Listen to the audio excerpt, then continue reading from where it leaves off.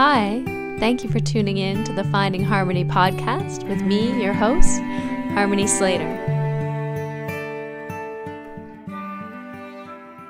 Hi, welcome to the Finding Harmony podcast. I'm your host, Harmony. I am here today with Russell Case. Harmony, I have an introduction for you for today's guest. Okay. I'm so excited from the nation of Brazil, currently teaching in Palma, Yeah. Mallorca, founder of Ashtanga Pitango in Sao Paulo, the wonderful Hel- Helen Rosenthal. Helena. Helen Rosenthal. What kind of you're Helena. a, you're a Jew like me. You must be. Yes, I am. That? Mm. Elena, let's put it Helen like that. Rosenthal. Elena Elena? Rosenthal. Elena Rosenthal. I don't even recognize that as a Jewish name. What is that? Elena Rosenthal is yeah, Rosenthal is, Um, is very popular. We find them all over. Oh my. Somebody's Do- always asking me, "Oh, do you know her? Do you know her?" And Yeah. no, I don't.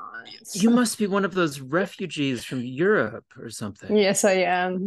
but I was, but I was taken to Brazil. So like, you know, most Yeah. white people are also refugees from Europe. If you meet them around North America, South America, Mhm. they're Some all point. refugees. They all got on a boat and fled starvation and abuse. Is that that's what happened with you guys? Well, my family is from all over. My grandfather uh, came from Paris, and he was born in France. Wow. My grandma from Russia, the other grandma Mm. from um, Bessarabia, who used to s- say was to be Bessarabia before. Okay. Romania, the other one. So it's this mixture of Jewish coming from Yeah. Wow. Europe Some- that ended up there. in Brazil. Some Yes. Ro- Roma in there from Romania or Yeah. no? Verona, my mom is Verona. Oh, Ver- Verona. Okay. I- Okay. Wow. Well, yeah, yeah. Um, so in, in Russia, they're they're fleeing the the pogroms where they were um, exterminating Jews as well. Is it maybe it's something to do with that as well? Yeah, I didn't get that deep into into that. Mm. into the the history. No, I've I was um I was I went into some crazy thing. There's a new movie coming out. Kate Winslet, who is from Titanic. yes. You remember Yeah. her?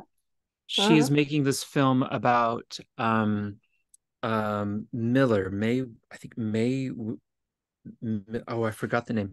But it's a famous uh photographer Mhm. from the war and she took a bath in Hitler's bathtub the d- the day that Hitler committed suicide. Really? So Kate Winslet is doing a um, a bio a biopic of this lady, and uh, she did this wonderful uh, photography of um, the the president of Hungary being um, uh, assassinated, not assassinated, but uh, the firing squad Oh, uh, execute. executed. Yeah, and I was so excited to see the president of Hungary being executed because, of course, all, all my family was was uh, executed in Hungary like after well. World War II. Oh, during bo- Mhm. during World War II, but this Oh, was Mhm. after.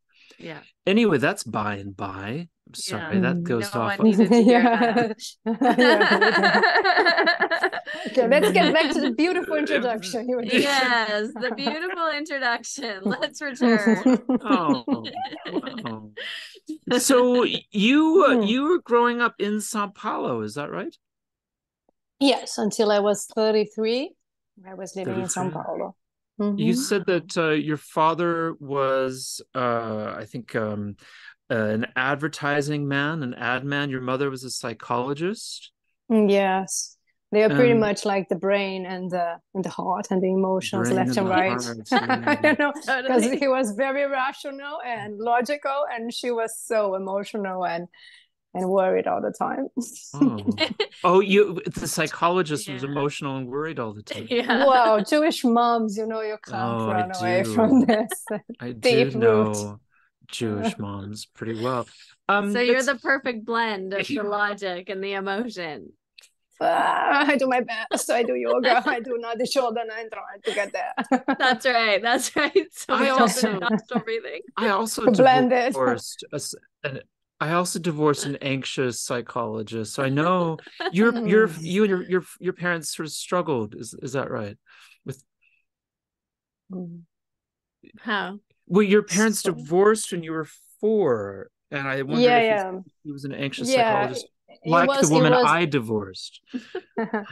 well Again. i mean my, my parents are wonderful and I'm, I'm yeah i love them so very much and they've been a, a big support in my life but yes uh, when i was around five years old they were divorcing and Mm-hmm. uh, it was it was complicated there was a lot of fights there was a lot of arguments um, and it was a turbulent time in our lives Mhm. but I was the smaller one. I have two older sisters. So Oh. For them, I guess it was a bit harder. And especially one of them later had some psychological issues that was very hard for us to go through. And that lasted a few years with a lot of apprehension and concern about her. So it wasn't an easy and smooth adolescence for us. Mhm. Yeah. Um, It's it's Yeah. interesting that you said that you found that maybe your sister had a harder time when when you actually described your own adolescence as being quite rough. I mean, you Hmm. really uh, you you I think you described in your bio as you kind of went off the rails a little bit. Yeah, I mean those things they affect all of us, you know, when you're when you're dealing mm-hmm. so close to it. It of of course it affects all of us, but in a very different way. I mean, I was very I was always very passionate about life, very full of desires and curiosities and driven, you know, to to discover and also at the same time with a deep insatisfaction, with a deep inquiry since young. And my Mhm. mother, she used to have a library full of books. And then since the young age, I took her books from Krishnamurti and some Buddhist books, and I was reading it and resonating with it quite a lot. Um, I remember when I was 12 years old and I did my bat mitzvah. A friend of Oh. mine gave me a Shiva statue. Oh wow. Yeah. Yeah. Bat mitzvah present, Yeah. you know. She, she, Yeah. found, uh, she found it cute because I know she, she didn't have any idea about it. Yeah. So uh, somehow, you know, I was always uh, inquiring and, and searching, Yeah. and but with this deep insatisfaction, searching for a deeper meaning, and Mhm. just feeling that, you know, just playing the rules and that game of the daily life wasn't enough and wasn't the. There was more to it than what I see, and I wanted to find out what it is. Mm. Yeah. And I think you you started like experimenting with drug use and kind of going down that path too, which I think is also very, very um common for seekers, like people who are Yeah, at that stage or in in that place in life where they're recognizing like there's got there's more to this and what's this really Mhm. about? And i think that's a real questioning stage. Um but did it turn like i mean there's experimentation but then there's like really going into a dark place. Is is that somewhere that you Yeah. went? I thought, I think I was very close to this dark place a few times, but it was like, it was more as an exploration and it was very intense. So I am Aries with Aries as an ascendant. There's a lot of fire in my sign. I, I'm I'm not really into astrology, but I know that I have this intensity, you know, that is Yeah. present and I can't escape from it from it. But yoga have helped me a lot. Uh, but so I would go, you know, until the end. If I was smoking weed, I was the one who was smoked the most. And if I was partying, I would party until the, the, the security would turn on the lights and say, go home, take rest. yeah Yeah.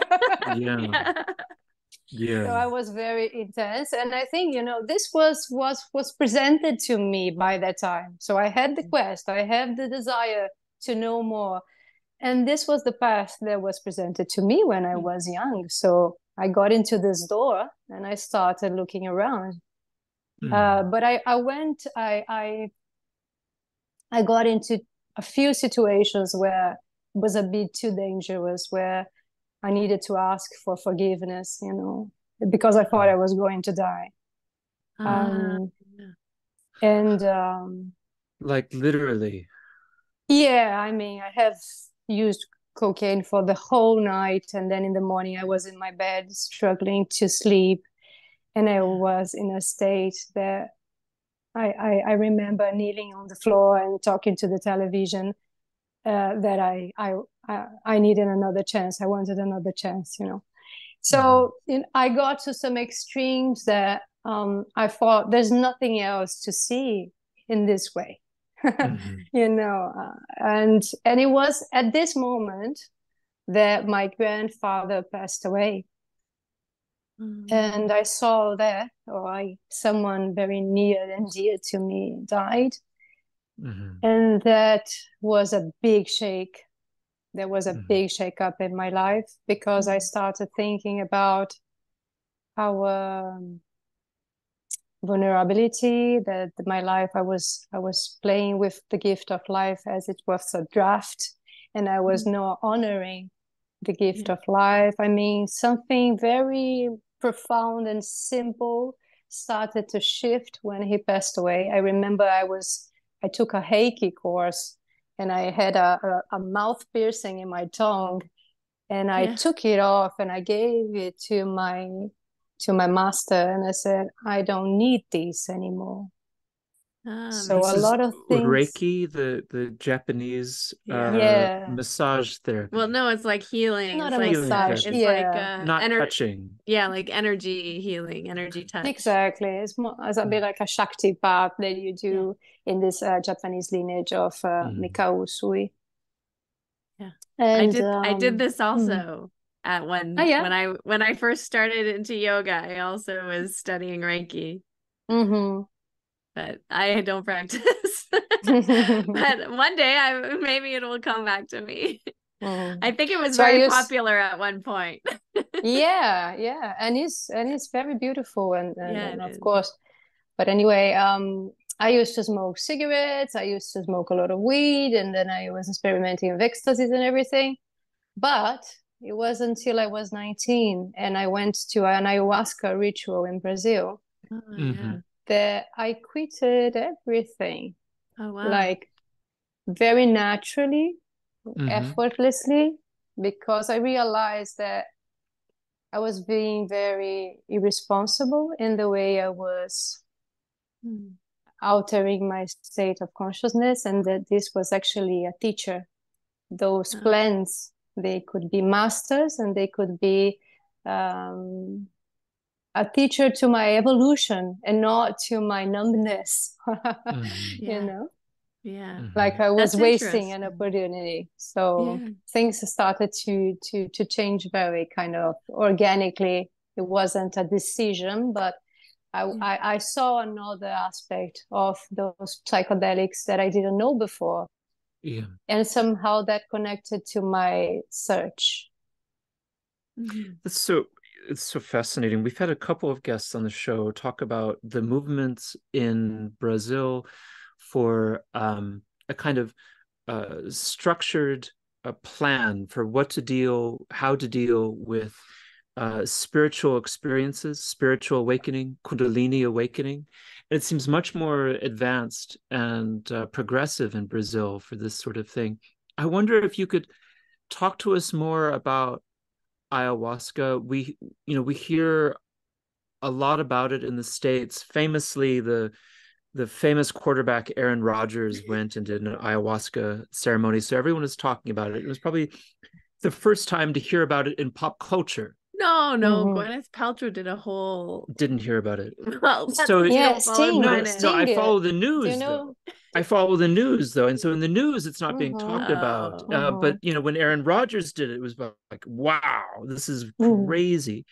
I wonder if you could tell our listeners more about the experience. What led you to want to try it, and what did you actually see? Like like when you get stoned maybe you'll see some rainbows and things you know things start to feel a little you know wobbly. But then there's you know like a full trip when you're in a completely different planet. Like what's the where are you on the spectrum there? Mm, yeah. Um i'm not sure how to put the the right words in english but the thing is that ayahuasca is not an hallucinogenic.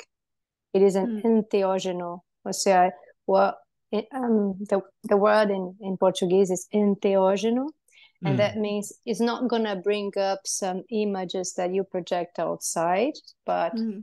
it's going to bring a lot of mm, I mean, I can, let's say about my experience, everything that I was hiding under the rug would come up and was in front mm. of me so clearly that there's no way I could deny it. And I saw all the light and all the shadows in the same proportion. And I mm. could feel it and I could see it. And at the same time, all the flaws in the world and everything that I, I dislike I realized they were inside of me as well, mm-hmm. that I mm-hmm. am that as well. And that I needed a practice. This insight was came to me and I had an image of a speed trail, like um you know when you're running and you're running in circles, what is the name yeah. of this space? Yeah, like a track or something. Track. Yeah, yeah, yeah. So it came like an image of a running track in mm-hmm. circles in a sense that I needed con- to content. I need to to not to contain. run through the whole mm. city to contain exactly. I needed a container to mm. do a practice and experiment in there so I could slowly, gradually, with a method, build up and purify what I needed to be purified. And when I started to practice Ashtanga, I was 19 years old. Um, I cried a lot during my practice. I remember I sweat crazily and I was crying so much in the practices. Part of it is because the teacher back then was very intense. He was a person with a strong um, character, and the the way he practiced was full of heat and tapas and and uh, pressure on us. But mm. part of it was that I, I was bringing up those memories and suppressed emotions that I lived, and I had no one to talk about. I didn't do any therapy or any psychological therapy to, to digest and to process what I lived in those years. So the practice was my therapy. And over the years, I could organize everything inside of me. And what happened is, I, I did a few sessions of ayahuasca when I was 19, and I decided not to do it again because I saw people using it as another escapism. You know, mm-hmm. they were doing rituals every weekend or every month, and there was like a psychological dependency on this, and mm-hmm. it became just like anything else. I, I just want to to to back you up just to to back up just a moment. I know you wanted to talk about your first Ashtanga teacher, Kristovan, and I think that's what you're referring to. Yeah. Yeah, yeah. Yeah. But I just wanted to back up. So you're in you've been in were you invited to an ayahuasca ceremony? Mm. A friend or did you hear about it? Yeah, a friend. By that time and... I was doing some movement classes, Klauss Vianna, Feldenkrais thing. Yeah. I was mm, studying yeah. at the university for body and arts communication, which is a mm-hmm. course mm-hmm. that we had in Brazil that works with performance, art, and dance simultaneously. Um, and I started with dance, and then I moved to performance, and then I started to take those classes. Mm-hmm. And uh, I, one of my friends or my colleagues in their classes, she was she was doing those rituals and hosting them in her house oh, with wow. a, a leader, and there was a lot of actors participating in it and there was like a hinário, uh, uh, a singing book that they would follow that bring mm-hmm. up the messages and they kind of guide you through. So i went there and by that time i had no practice. So it was very strong physically. I couldn't bear i couldn't not even even be seated still you know because it was too much. So mm-hmm. yeah. after I took a lot of years of practice, I went back to those rituals after breaking up with a very complicated relationship. And at that moment, I was 23 and I decided to go back to the ayahuasca, but I had practices consistently. And it was a yeah. complete different experience. I was able to sit in Padmasana for like 10 hours, just wow. watching, watching mm. all those things coming up and and breathing and not mm. you know with some equanimity into the things that i was presented oh man yeah. so you're in a you're in a friend's house wow. are you like sitting in a circle in a yeah. kind of on the floor and mm-hmm. when you you describe your physical state you are sitting and you're not exactly in a different world but you're aware of uh, very clearly the mm-hmm. light and dark elements of your personality and they seem very present to you but it's yeah. not that uh, you are disappeared from the room you are seeing the floor still you're seeing your own legs and hands still absolutely yes absolutely okay. and okay. and uh, and sometimes i i would do some asanas or some mudras mm. you know that mm. would come like spontaneously and mm-hmm. and it's actually wonderful i have no words to describe how beautiful it is when mm-hmm. you combine those things this is something I, am still longing to experiment in the future like uh, mm-hmm. uh, because it's it's really powerful but of course it is so important that you have a safe environment and someone leading that you trust and that is knowledgeable i mean it, that makes a whole difference so mm-hmm. i was with them for for a while in a few rituals but the limit or the boundaries between the theater thing that felt a bit like an actuation like they were playing uh, or the real ritual it was a bit confusing. They were crossing a bit the lines and sometimes they were doing some so show ups that i didn't feel comfortable about so i left that group. And then a few years later i met a shaman.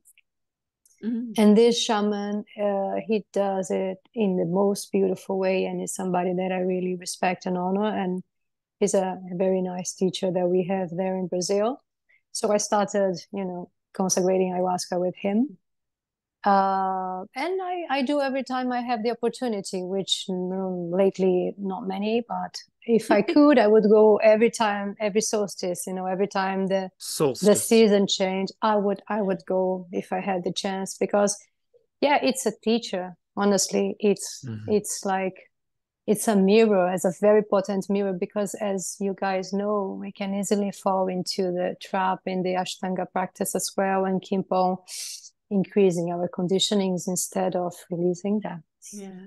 Mm. Yeah, it's very it's tricky. that's yeah, that is fascinating. I um uh I think our experiences were much more um uh intuitive and spontaneous rather than controlled.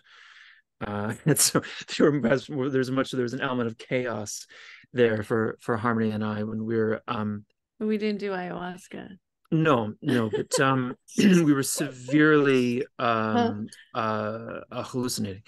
Um, so I wonder if you could talk then. You you mentioned your your first Ashtanga yoga practice is being very intense.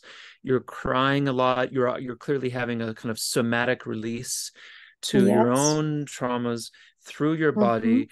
But yes. I think you you mentioned and you said that you wanted to talk about this, but um, that this that this teacher or perhaps this room was also maybe uh, re-traumatizing or a, a kind of um, abusive in its own right. Were, mm.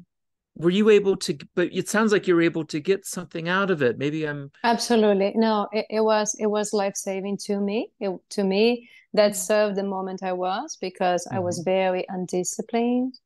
I had a lot of trouble with stability, routine, you know, going mm-hmm. all to the same place. And at the same time, I always hated that. And mm. and I was yeah, and I was very as well like uh, stubborn. so yeah. I I have difficulty in surrendering to whatever and he taught me so much of discipline and the group and that sangha that those peoples they mm-hmm. they were so dedicated and so committed and so true to the practice that we created a bond that was very beautiful mm-hmm. um, but also yeah there was a lot of purification indeed because we were doing strong mm-hmm. strong practices but yeah too strong and this guy ended up being very manipulative he ended up um, getting lost in the power uh, power mm-hmm. structure and mm-hmm. abusing abusing in many ways not just sexually from other people that unfortunately i've heard after i left the institution mm-hmm. but also emotional abuse psychological abuse you know because uh, despite being um, a yoga an asana teacher an asana teacher let's put it this way he called himself an uh, ayurveda therapist So he was doing what he called Ayurveda massages, and he would pick up the persons who, the ladies who were ready. Uh, yeah. Groomed. To, yeah. So you know, yeah. when you get there, he knocks the door, and and you were naked. So with me, it was actually it's actually beautiful because I was protected by my ingenuity because I I didn't buy whatever he could suggest, you know. Yeah. I could not even see it. But mm-hmm. after I left, I figured out and I found out that yeah, a lot of people were being traumatized by him. Mm. Yeah, and he's still there. He's still there around teaching and everything. The story goes on. Like Bikram is still there teaching. Yeah. yeah, yeah. exactly. Yeah, it's it's funny. Uh, uh, Ayurvedic massage is so intimate, and it's. It, I think there's a culture to it as well, and I'm sure I'm going to offend someone, but I'm thinking of my own Ayurvedic massage teacher, Mm-hmm. So I'll be quite specific. My own Ayurvedic massage teacher and the culture within that class and my own studies is it was, you know, it's very dangerous because it's it can be very sexual and there's there can be so much tension when when people are naked and massaging each other and and very intimate ways and so it's it's um bringing that element to your Mysore room seems troubling yeah, I guess I guess this this is valid for any massage. You know, when you are massaging somebody, it doesn't need to be Ayurvedic, whatever it is, yeah. and you are alone with the person without your clothes. I mean, you must be completely ethical, and you need to watch yeah. your boundaries all the time because. Yeah. If you slide just a tiny bit, you're fucked. I mean, we all have our needs and desires and mm-hmm. the moments that we we go the hard moments in our lives. So yeah he he was caught by his own ego and yeah but but the thing is um despite the intense practices because i was taking a teacher training with him there was nothing but like a strong uh, a strong practice in the morning and in the afternoon but we would do some mauna retreats that would stay four or sometimes 10 days in silence. And we would have to practice the whole series in the morning and in the evening and 45 minutes of pranayamas in the morning and in the evening and 45 minutes of meditation in padmasana in the mm. morning and in the evening and there was this whole speech that you cannot remove your padmasana that you needed to learn with fear that fear was a mental state that we should transcend and people were killing themselves they were really like mm. struggling so much and yeah.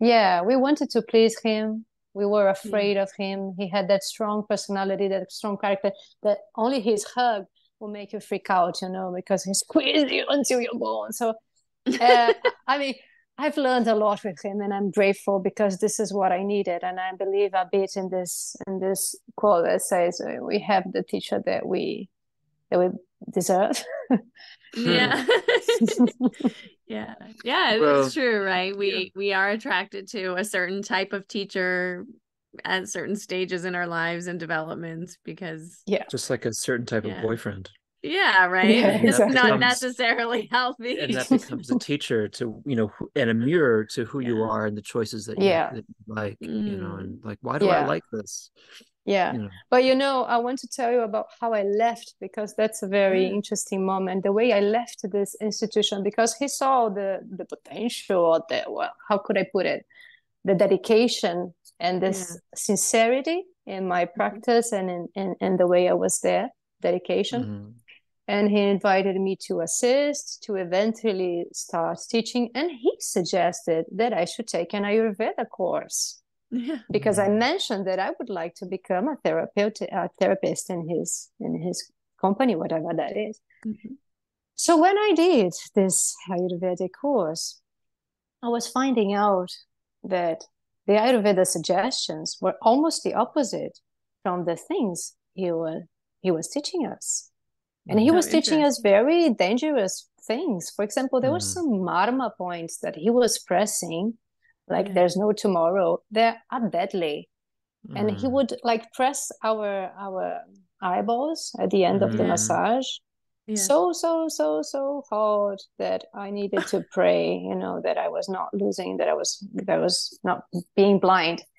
And your whole body shakes. Yeah, yeah, yeah. I mean, everything was very intense. And I would get so much like um purple that I needed to hide after the massage because I knew my Oh, parents no. would would run after him. So it Mm. was, yeah, eh, those things, you know, that you don't tell people, but yeah, it happened.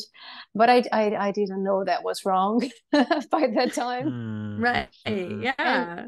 But the thing is, um, I was invited to sing because by that time I was a professional singer and I was singing in pubs and in bars, and I got to a Jewish wedding band called Yeah.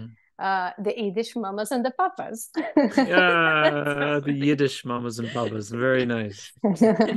and uh, and and somebody invited me to sing in a place in Bahia.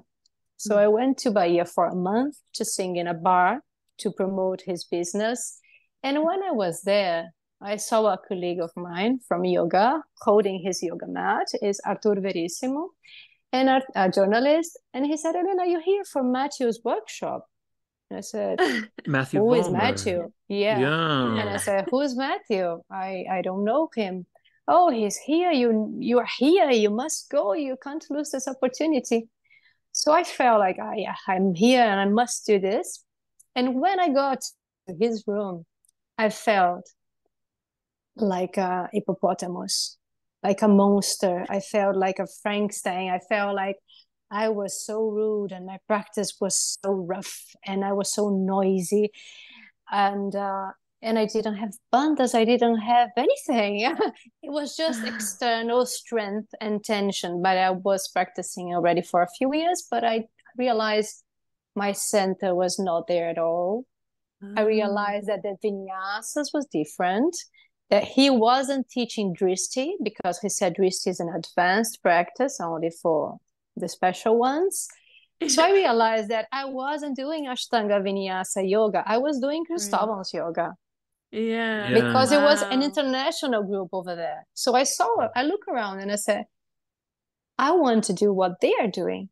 Yeah. So when Yeah, I got back, I- yeah, that, exactly.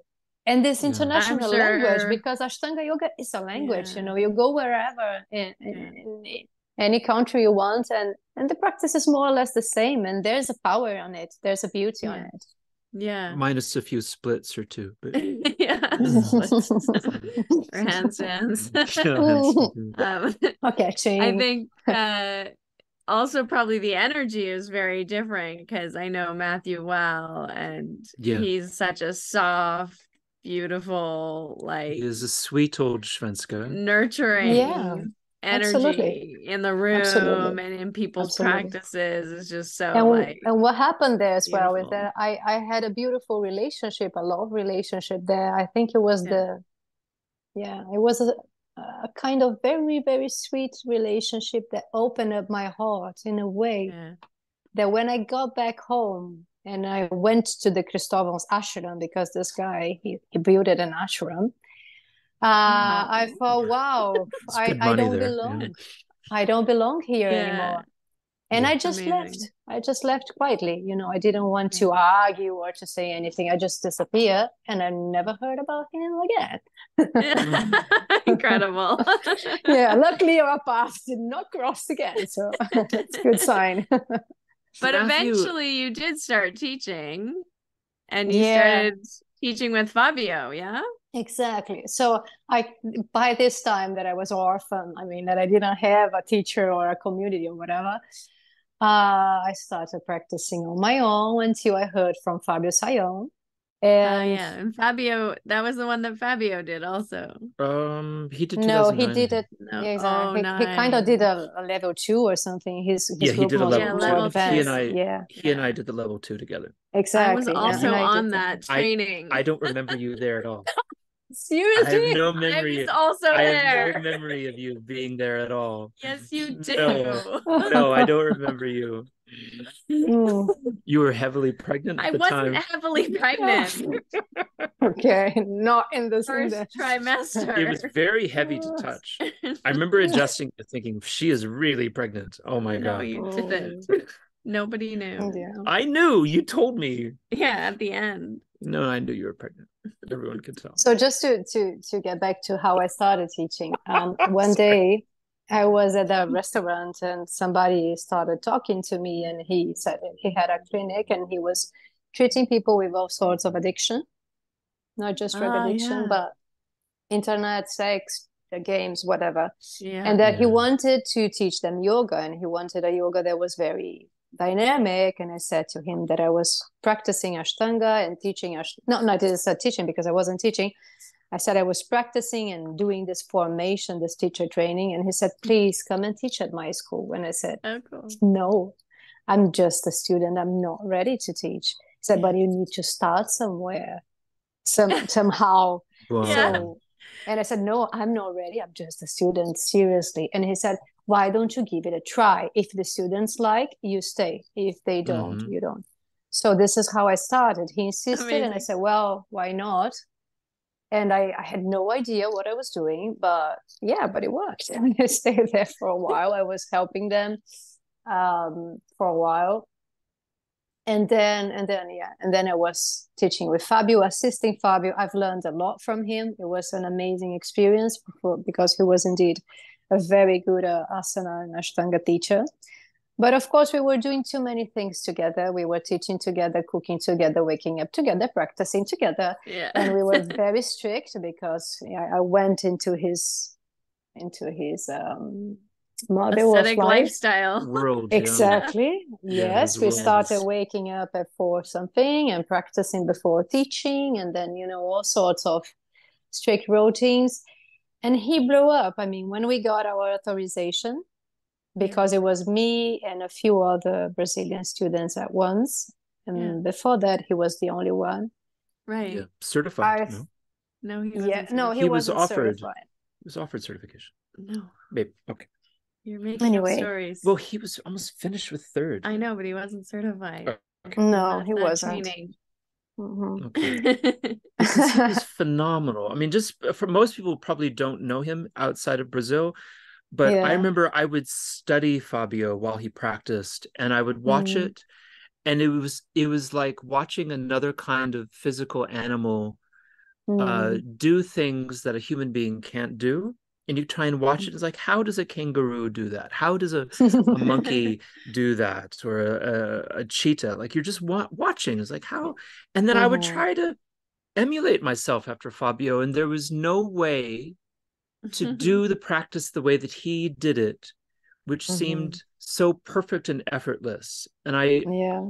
i felt like i watched him and he wouldn't really sweat and he would he would just reach back and hold on to his thighs and the back bends but not in any kind of not with any kind of effort Yeah. it just happened everything that he Mhm. did seemed to just happen by itself eh, and i it was impossible to emulate fabio's practice Yeah. and it was he Yeah, was yeah. astonishing Yeah, I I- mean, it's it's a true that he was very very dedicated. That he was Mhm. practicing yoga since young age. That he was genetically favor favorite. yeah huh? That he had and these s- facilities, but also um, it was the beginning of um,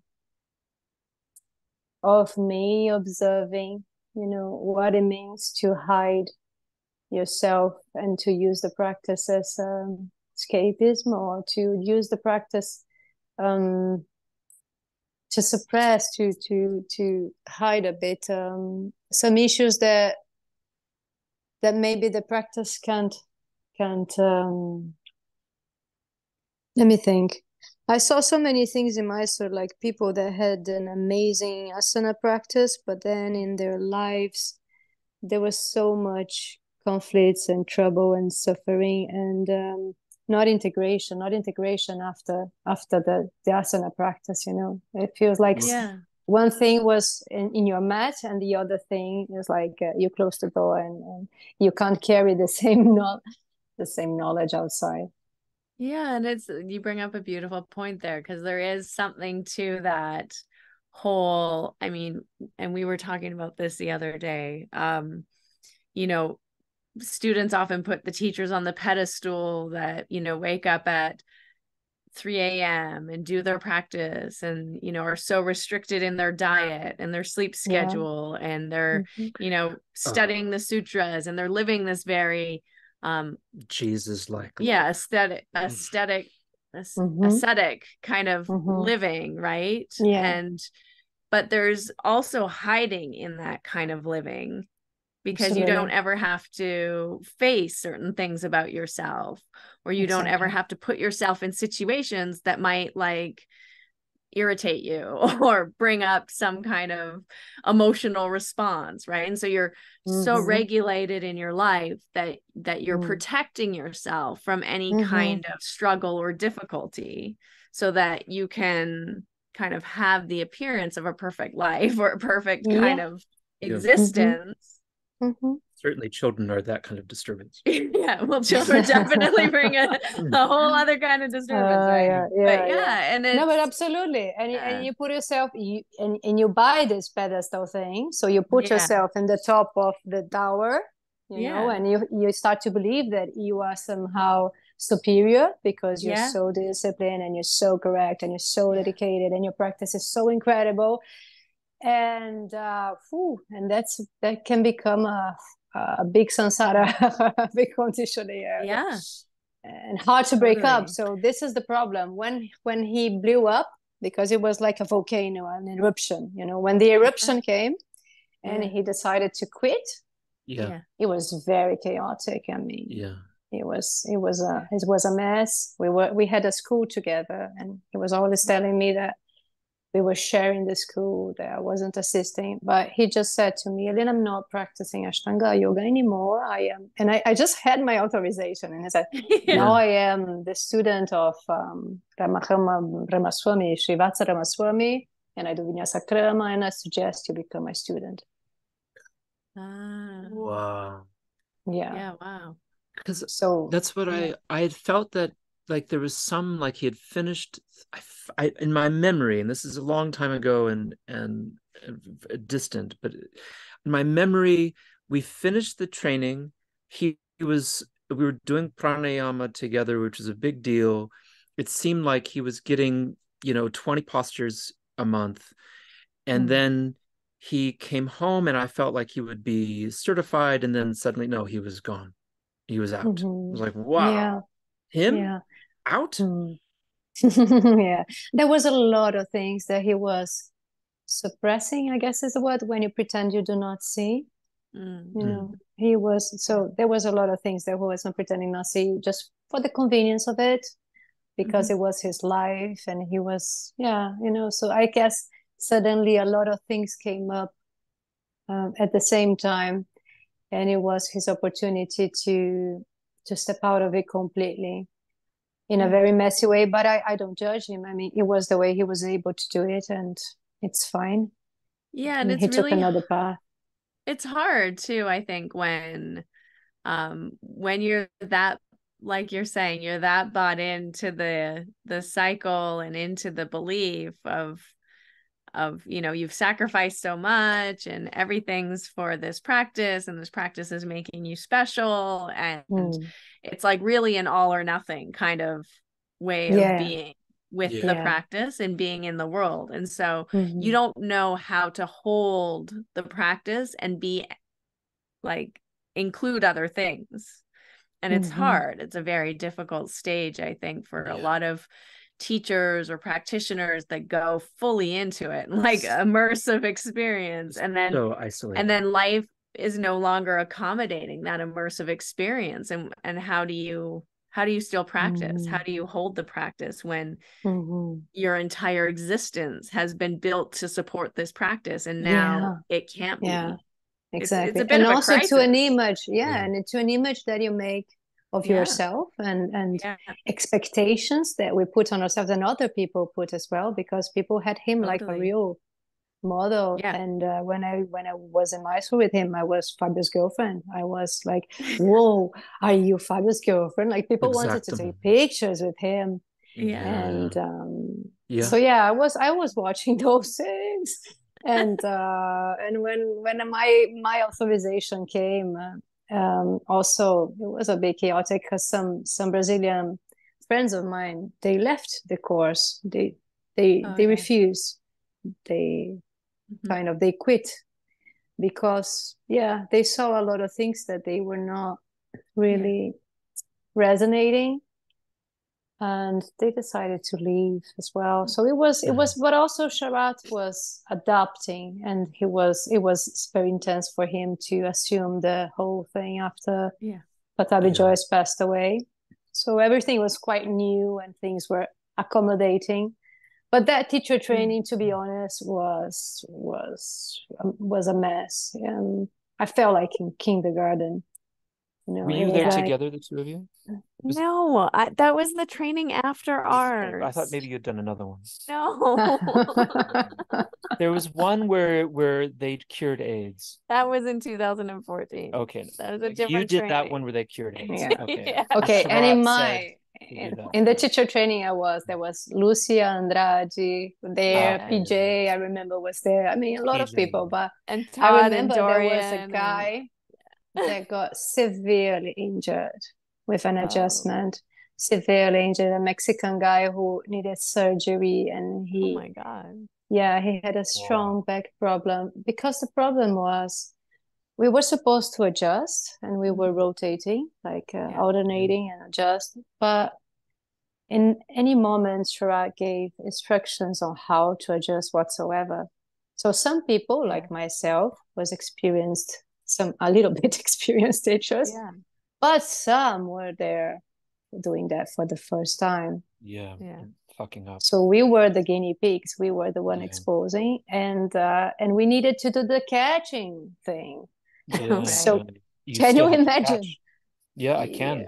Yeah. I Yeah. remember in in our training, which was supposed to be the very experienced one, Harmony Yeah. and Jeff uh, adjusted me, and I said to them afterward, like that was that was the first decent adjustment I've had all month. it was the first good one. Yeah. They were Yeah. really good because I they had been teaching a Mhm. long time, Mhm. but so Mhm. much of it was like what you're describing, people who just didn't have a practice for for adjustment. Yeah, yeah. Yeah, because I anyway. I mean, you when you're a teacher and, and you know this firsthand too, and it's what you're speaking to is you might have the practice, you might be a practitioner and be able to do the practice, but that doesn't necessarily make you a good teacher or or good at giving adjustments or adjusting bodies Yeah.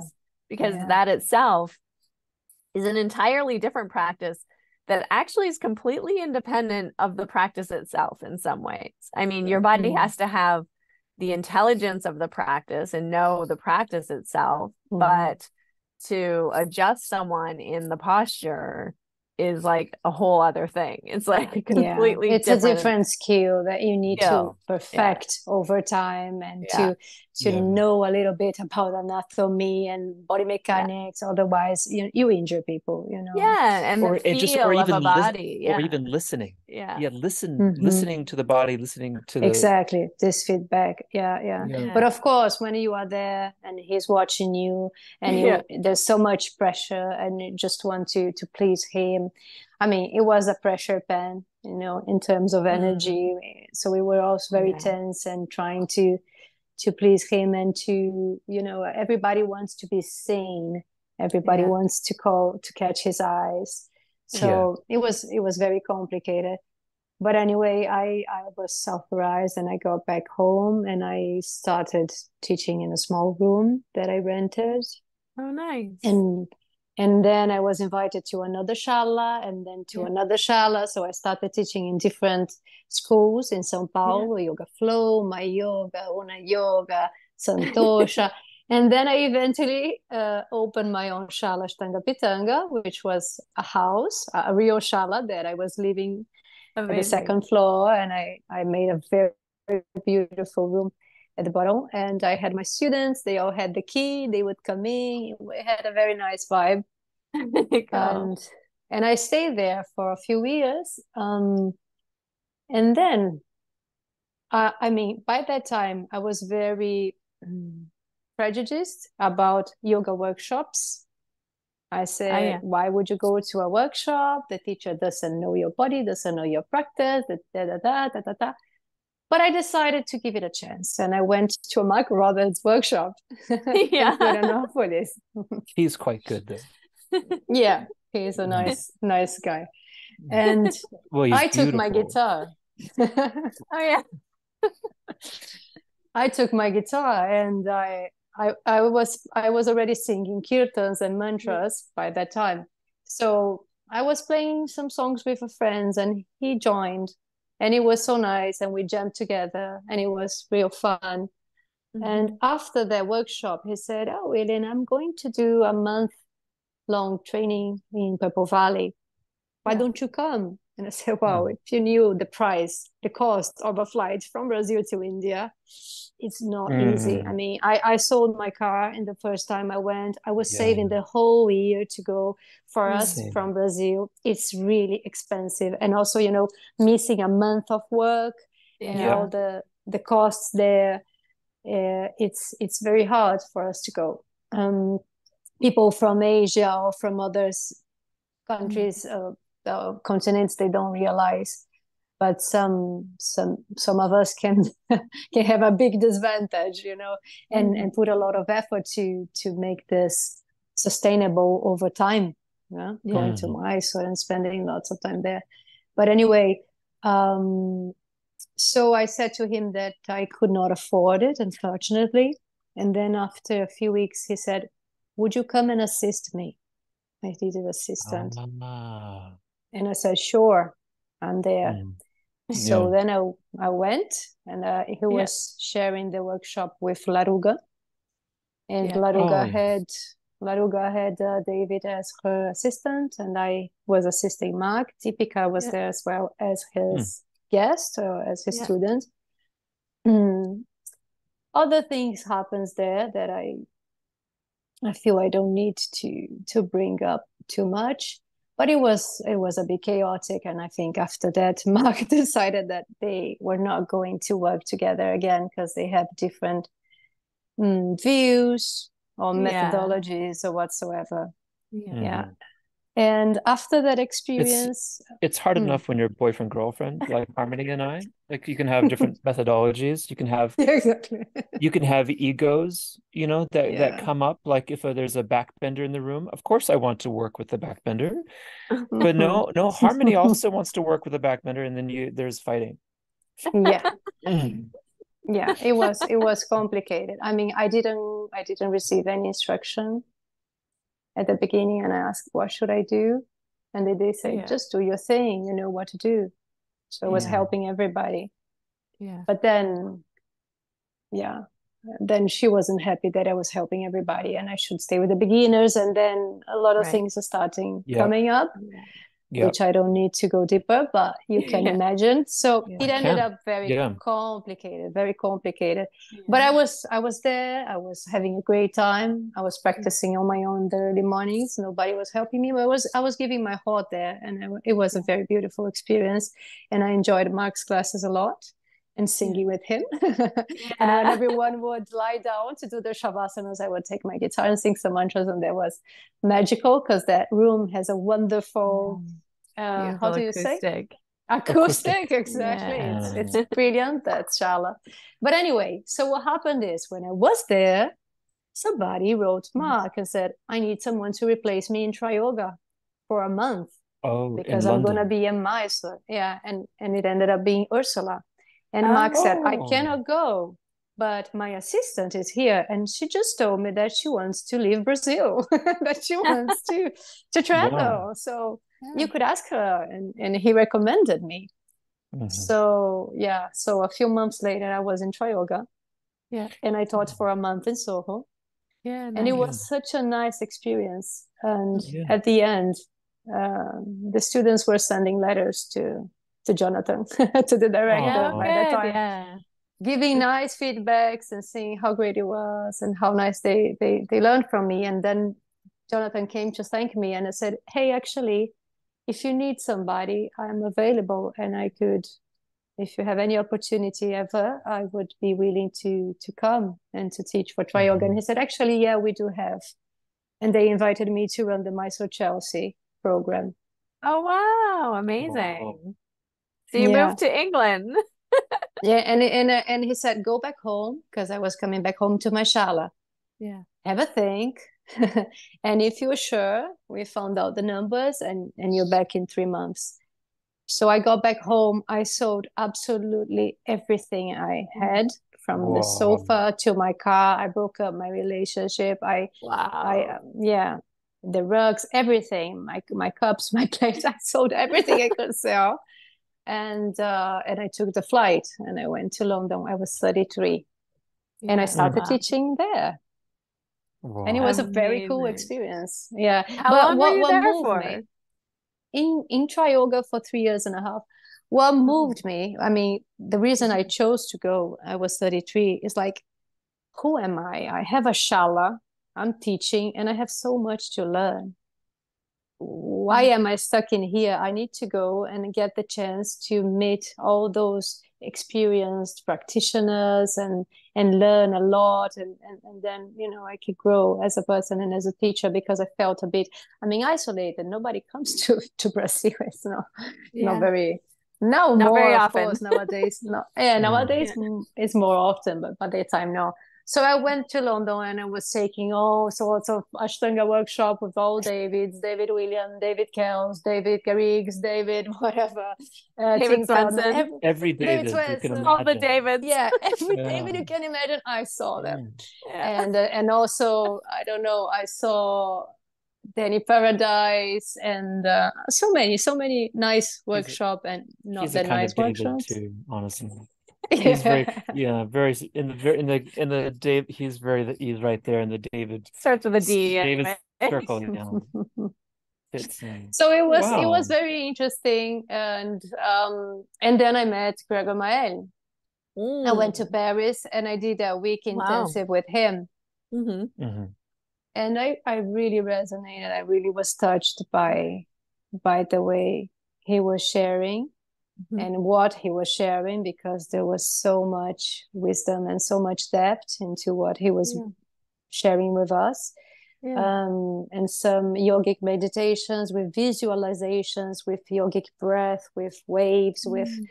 mantras. It was so interesting. And Mhm. he he connected the tantra with the ashtanga and the meditations that we do are connected to what we already do in the practice. So I found it all very interesting and I decided to take a teacher training with him.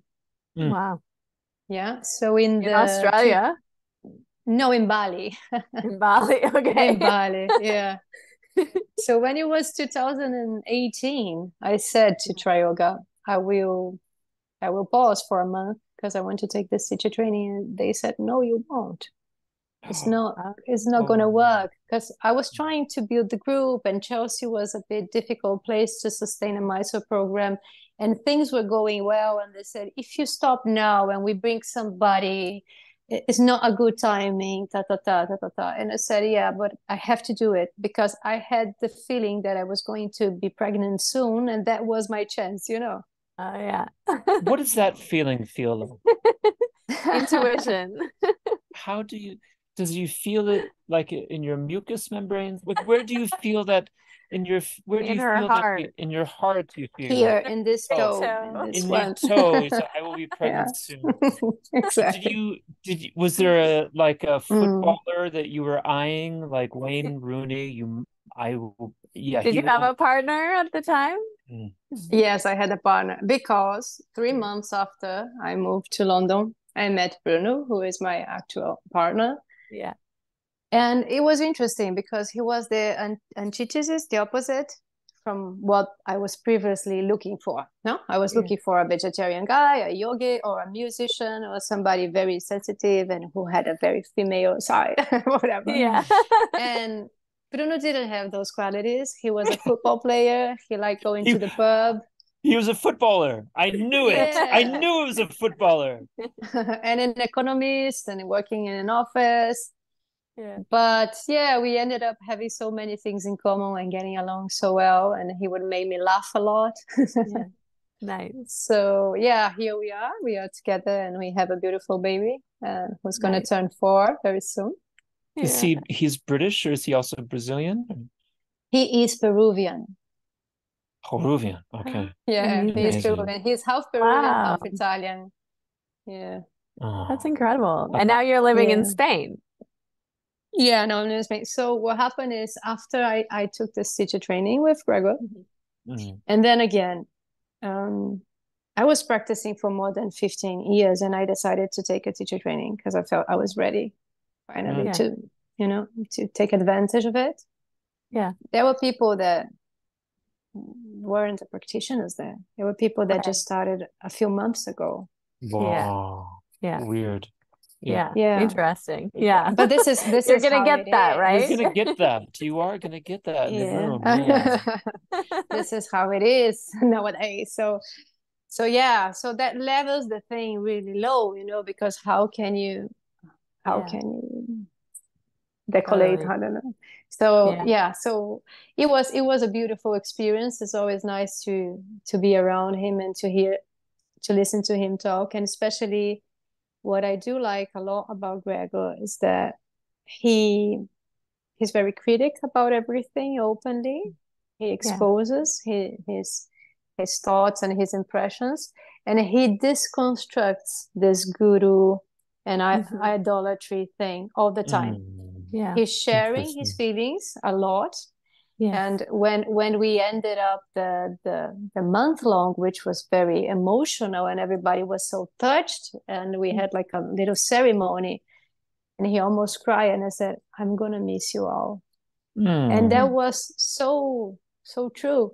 that was so Yeah. sincere you know so he he he goes that not goes down but we are all at the same level high Yeah. Mm. nobody Yeah, needs yeah. to go down That's right. We You can know, lift we are- each other up. exactly we lift each other and this is something that happened Yeah. when i was living in london and Sharath came to do like a week long guided classes whatever Yeah.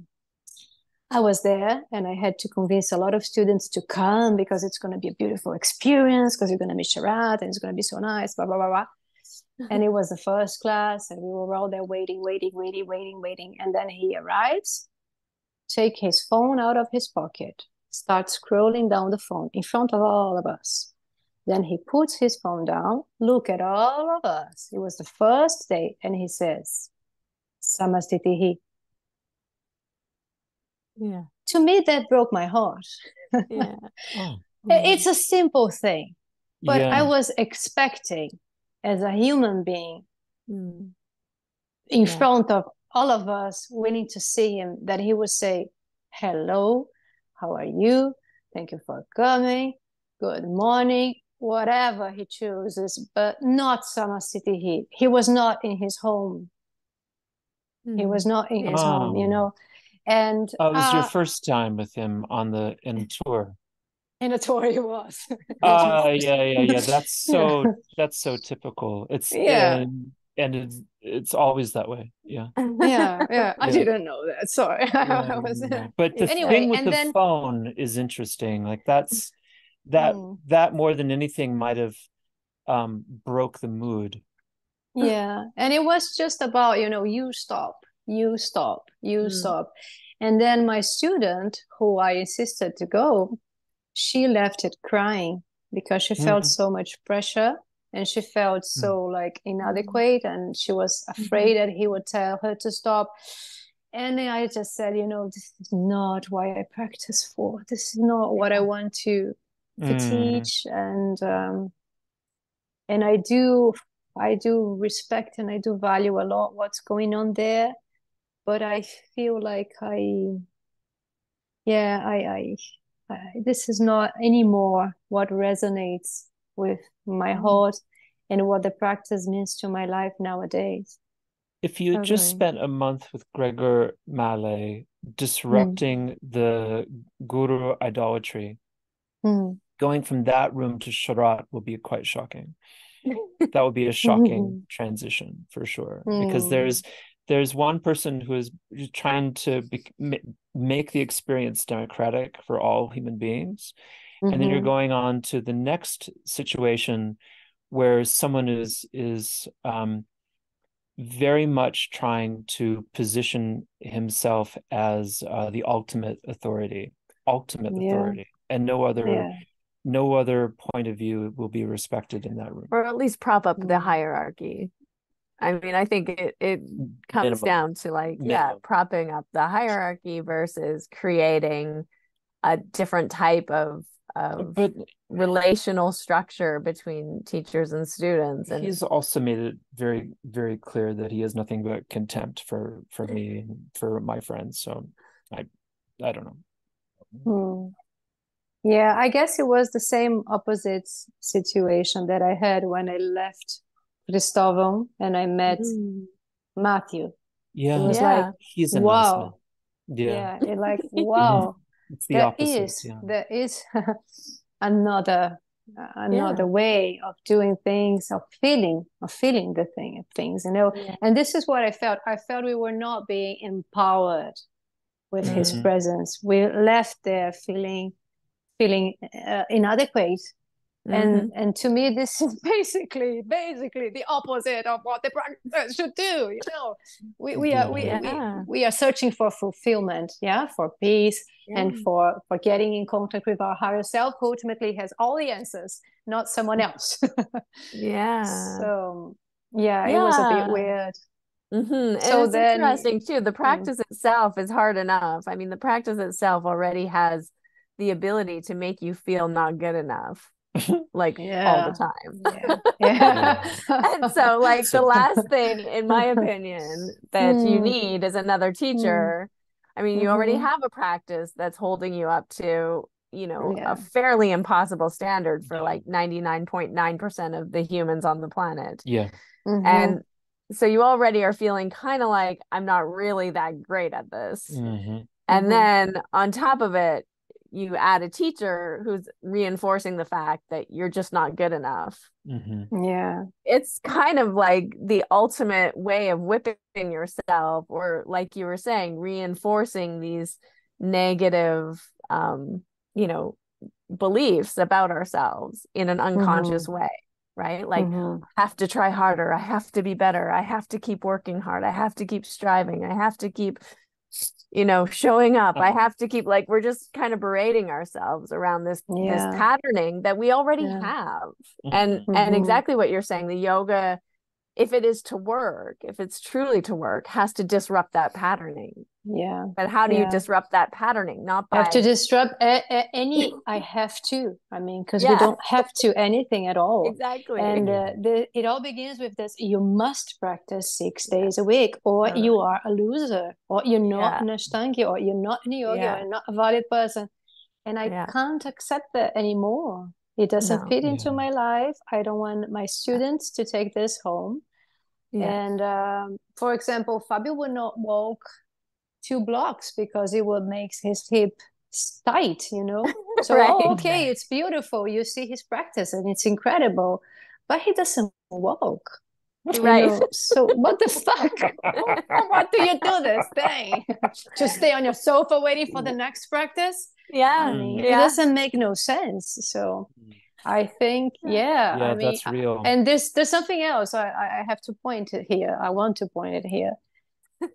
I don't believe now that I'm 40 there is one single activity, physical activity, that is good enough or that is whole enough or is complete enough for the health of our muscles and our joints. We need a variety of stimulus. Mhm. And if you are practicing two hours of Ashtanga yoga six days a week, I mean, how can you get it? So eventually we're going to need to negotiate, we're going to need to alternate, we're going to need to choose some days to do something different. Otherwise, we will Mhm. just create more and more imbalances and chronic stress with repetitive movements that generally are not well done. Yeah. I I agree a hundred percent with your point of view. And I also feel like now that I'm in my 40s, I have very little time for relationships that are unhealthy. Uh, toxic people who are projecting their own, you know, childhood bush bullshit on onto me and been trying to manipulate me. I've zero fucking time for it. I am very Mhm. happy to reduce the number of relationships I have. I'm not Mhm. looking for more relationships. But we Mhm. have increased the miles that we're walking. We increase the we fucking do a lot of miles. I was not happy about taking on these dogs, but I do walk a lot more. and, and it uh, does affect your practice. I, you know, I have some friend, I have some old, there were old relationships I had from school that I just cut off because it's like I don't feel good yeah. when I'm talking yeah. to you. Me with you. I'm not, no fucking time for it. Fuck off. exactly and and at the same time the connections that are left you know Mm. which Are are, more very important. few Yeah. they become so significant and you know because i've been traveling so much i have no physical friends my i, I Mm. reach my friends by whatsapp and i send those Yeah. voice messages that last for almost 20, 20 minutes but they are so meaningful to me you know they are all i have and Yeah. and I love my friends. Uh, uh, but but yeah, I, I mean, time, yeah. time.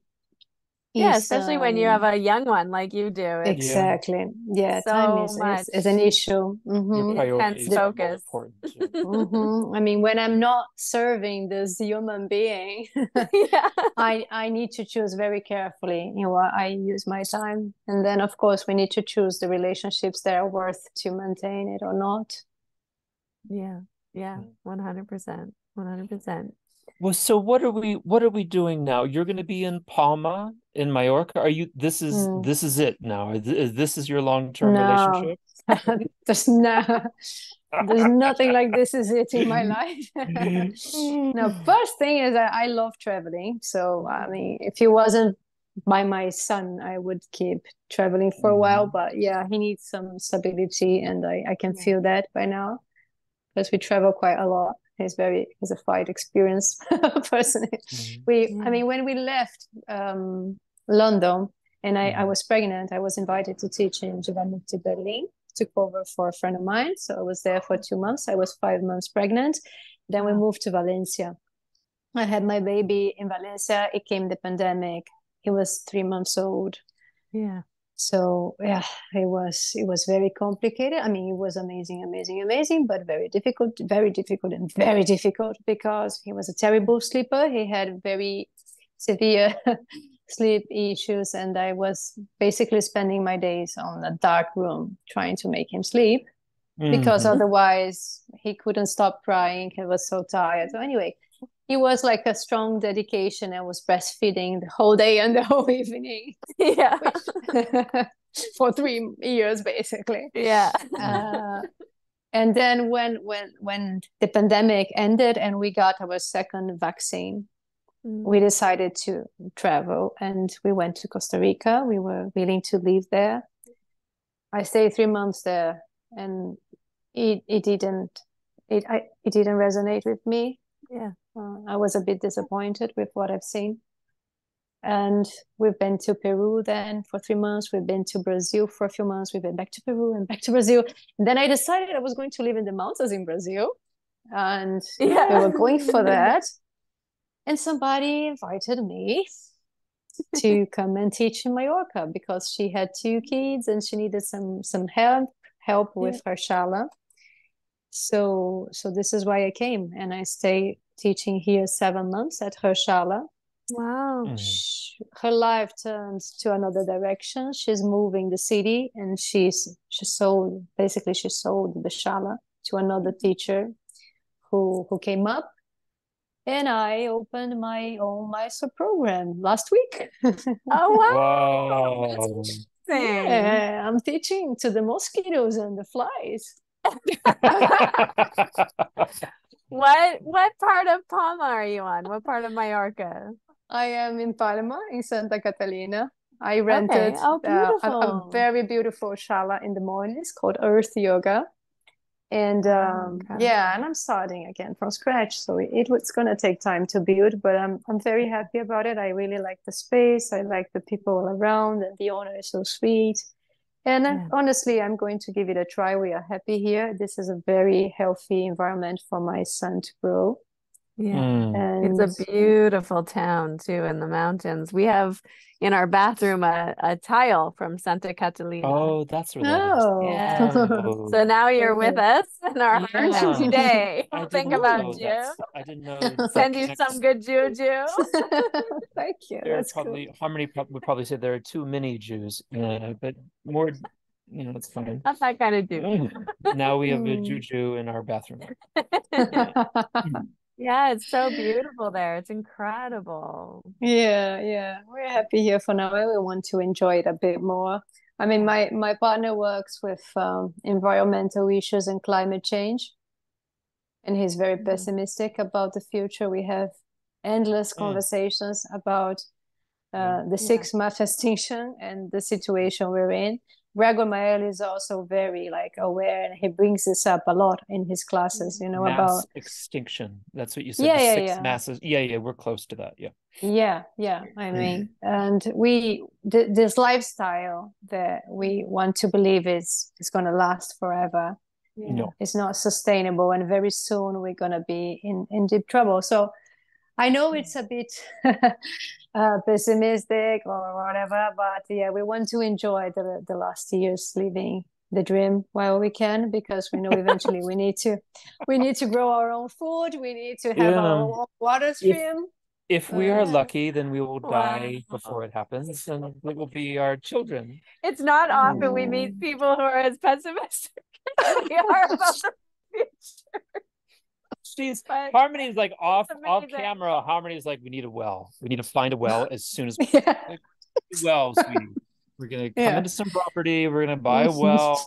We're gonna make sure we have enough water. Don't worry. Exactly. Yeah. Yeah, I mean, every fucking the- day it's like this. the Oh, I know. reality is Yeah. when when everything happens, it really doesn't matter if you do have a well or not because someone will steal it from you. Yeah, I yeah. I see. If you want to get a with a property huge- in a compound with a well, then I need assault rifles.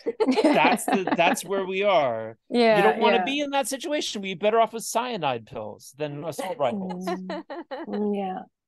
Yeah, yeah. But I mean, but if we, I mean, if we who are the yoga teachers and and and trying to guide people, you know, to a better awareness, if we don't speak about it or if we don't try to awaken this mm, consciousness in our student, then who will? Yeah. I mean, it's our duty as well to speak about this issue and uh, to rethink again and again about our lifestyle.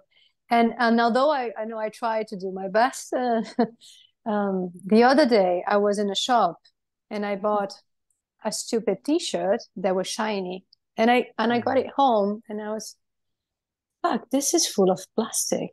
I mean, Why? Well, you know, I didn't do the connection in my And in my head. Yeah. Why did I all the needed this? from China as well. Exactly. And and full of plastic in the fiber and everything. And I just, oh, this is pretty. I will take home.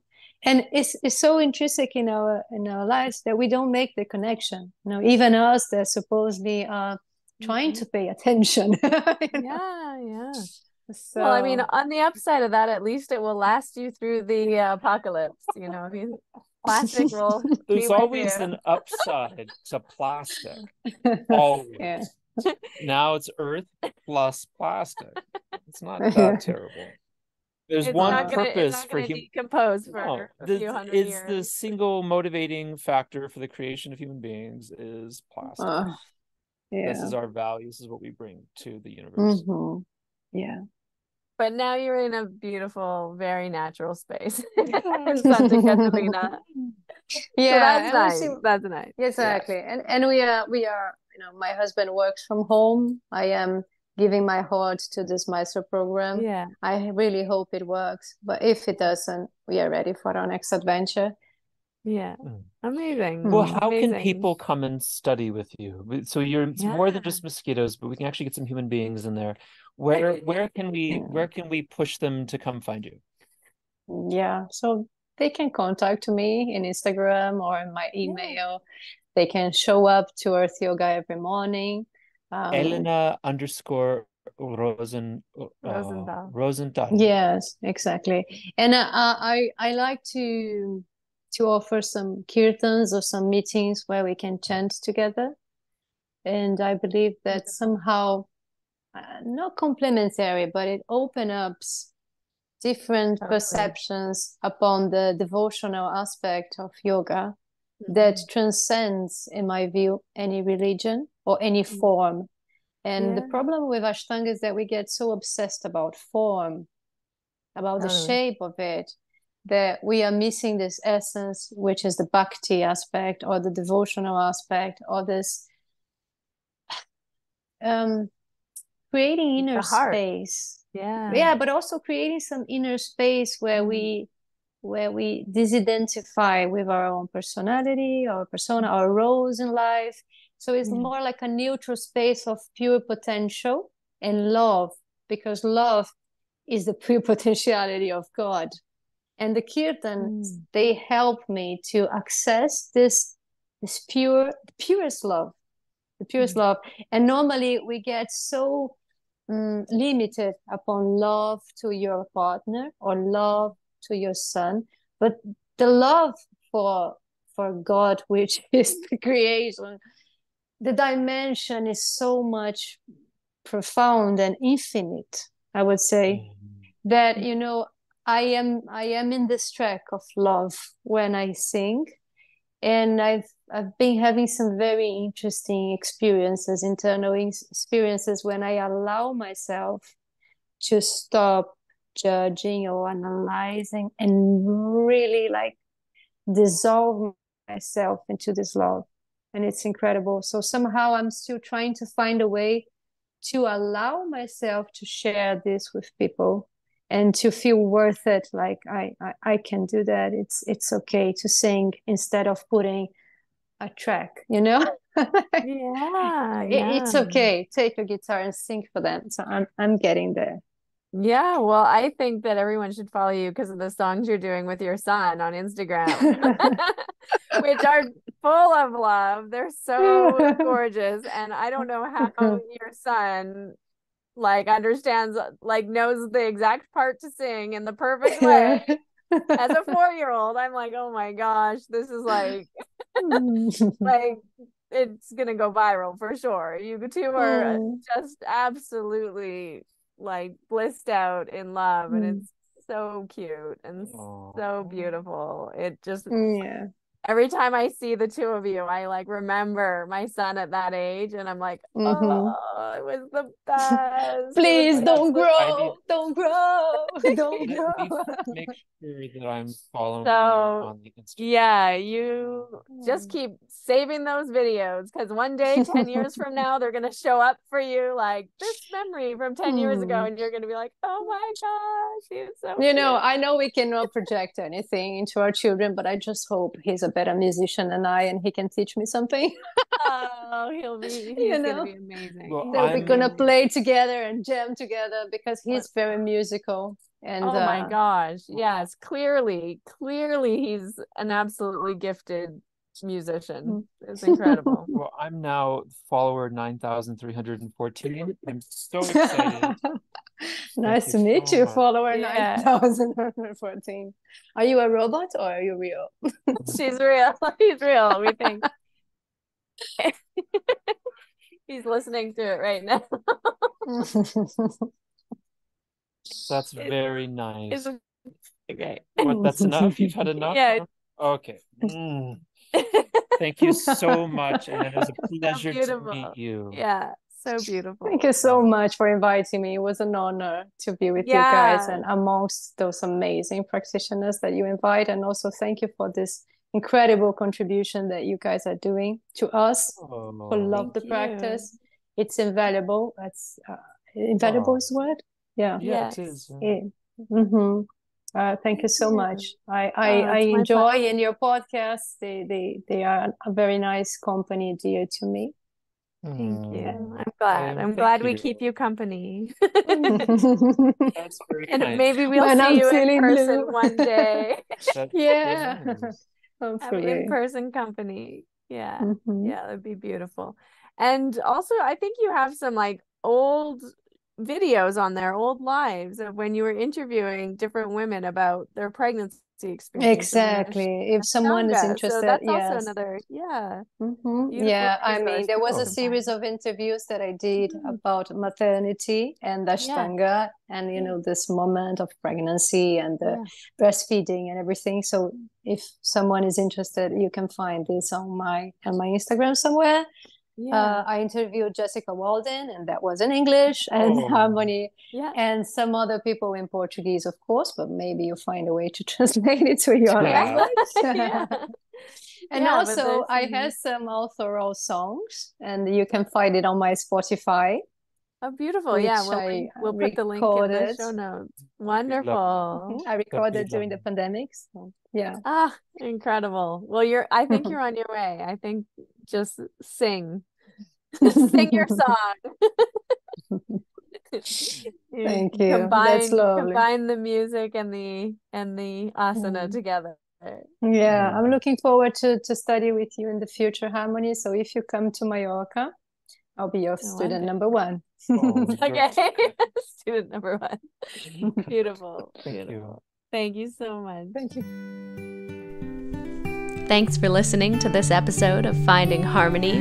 With me, your host, Harmony Slater. You can find out more information on my website, harmonyslater.com. And I look forward to connecting with you again soon.